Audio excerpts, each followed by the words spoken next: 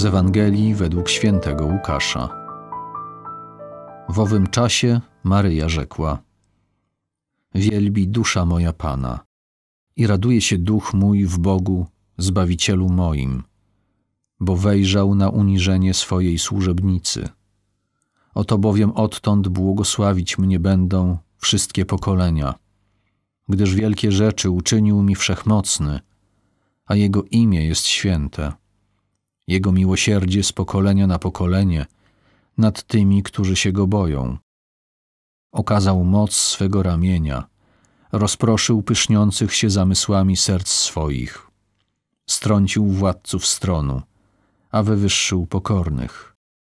Głodnych nasycił dobrami, a bogatych z niczym odprawił. Ujął się za swoim sługą Izraelem, pomny na swe miłosierdzie, jak obiecał naszym ojcom, Abrahamowi i jego potomstwu na wieki. Maryja pozostała u Elżbiety około trzech miesięcy. Potem wróciła do domu.